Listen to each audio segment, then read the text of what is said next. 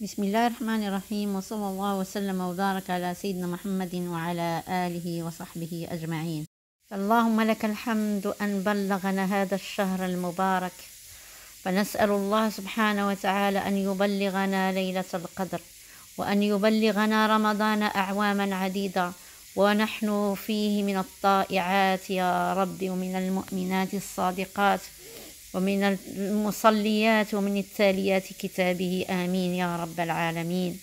إذا إخواني أخواتي شهر رمضان نعمة. نعمة يجب أن تشكر هذه النعمة.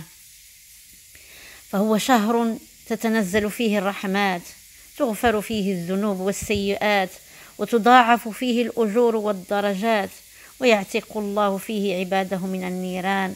قال النبي صلى الله عليه وسلم إذا دخل رمضان فتحت أبواب الجنة وغلقت أبواب جهنم وسلسلة الشياطين. وقال صلى الله عليه وسلم من صام رمضان إيمانا واحتسابا غفر له ما تقدم من ذنبه ومن قام رمضان إيمانا واحتسابا غفر له ما تقدم من ذنبه. وفي الحديث القدسي كل عمل ابن آدم له إلا الصيام فإنه لي وأنا أجزي به.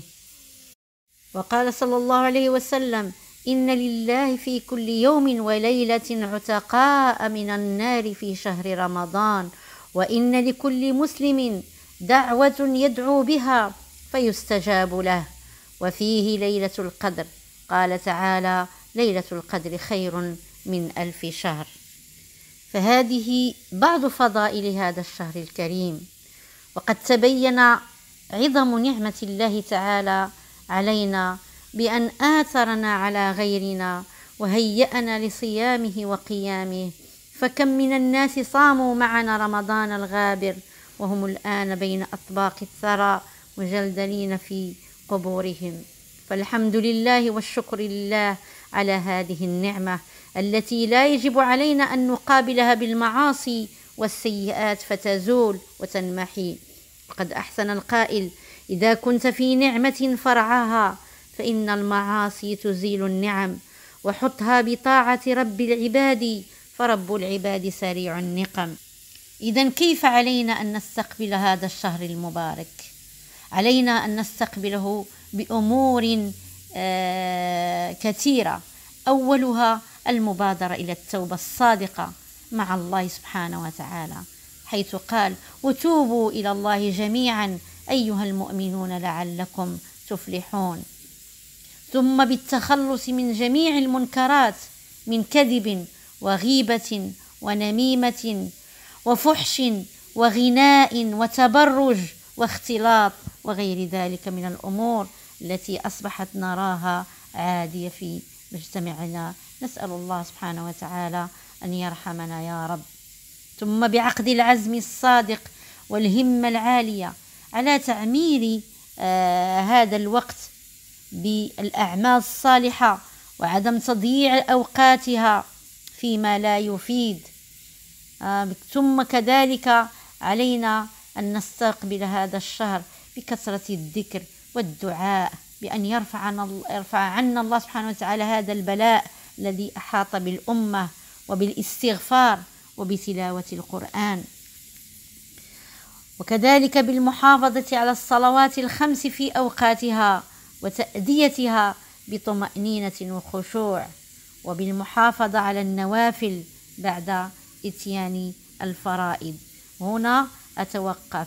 هذه النوافل التي وإن لم تكن آه، في المساجد يعني تراويح في المساجد فعلينا أن نقيمها حتى في بيوتنا. فإذا أغلقت المساجد فرب المساجد حي لا يموت ولن يموت. ثم إن هذا الشهر هو شهر القرآن. شهر رمضان الذي أنزل فيه القرآن هدى للناس وبينات من الهدى والفرقان. فرمضان والقرآن متلازمان.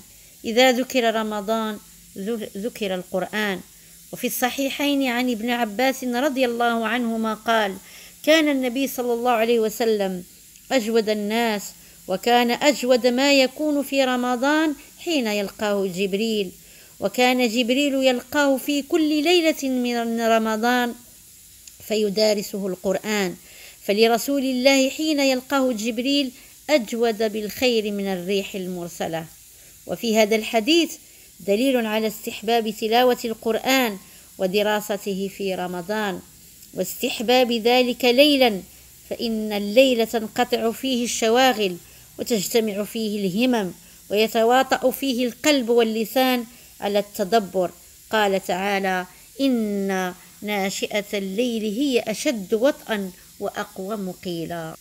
وكان السلف يكثرون من تلاوة القرآن في رمضان. وكان الزهري إذا دخل رمضان قال فإنما هو تلاوة القرآن وإطعام الطعام. فاللهم وفقنا في هذا الشهر المبارك المبارك لتلاوة القرآن وللصيام والقيام فيه. اللهم وبلغنا ليلة القدر.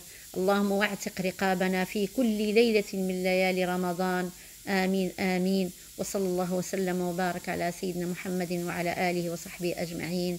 والسلام عليكم ورحمة الله تعالى وبركاته.